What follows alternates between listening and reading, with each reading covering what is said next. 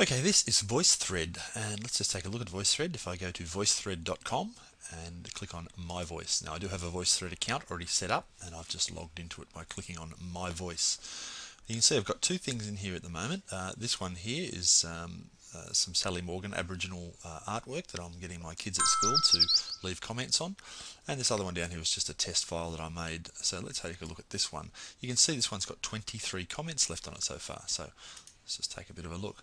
When it loads up, you can see I've uploaded three pictures in here and I can browse through these pictures. This is this first one, there's the second one, and there's the third one.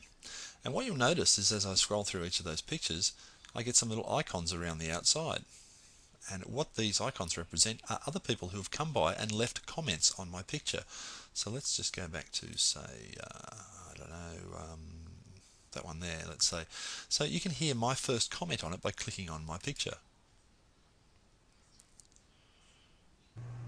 This is still in the old city in Montreal, and this is Notre Dame Cathedral.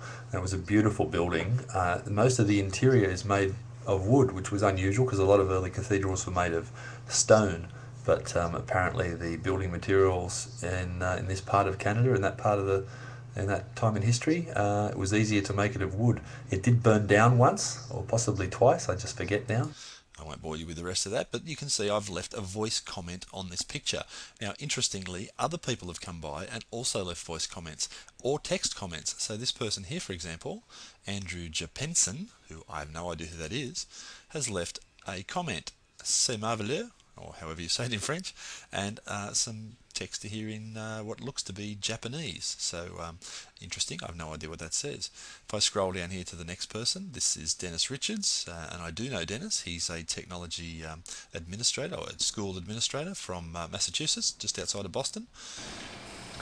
Hi, Chris. This is Dennis from uh, Massachusetts. Um, just looking at your uh, voice thread here.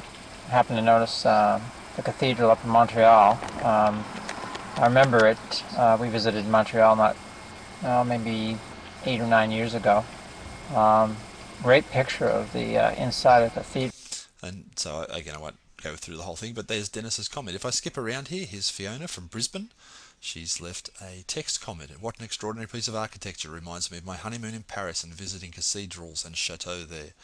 Uh, this person here, what a great photo. It took me a minute to focus on the floor and where the camera must be. Were you lying on your stomach? So um, this, this, one here is a voice thread from Susie Vesper in New Hi, Zealand. my name's Susie. I'm from New Zealand. Um, I haven't been to Canada, but looking at these photos makes me want to come and have a look around. Um, we have the largest wooden building in the southern hemisphere here in, in Wellington, so it's interesting to hear of a cathedral made out of wood. Um, thanks for sharing these photos and so on. And you can see there are other people as well. So that's how VoiceThread works. It lets you upload some pictures. They can be kids' drawings, they can be scanned images, digital photographs, anything visual, and put them in a place where other people can come by and simply leave comments, either text or voice, on those things and form this conversation that starts to take place around the photographs.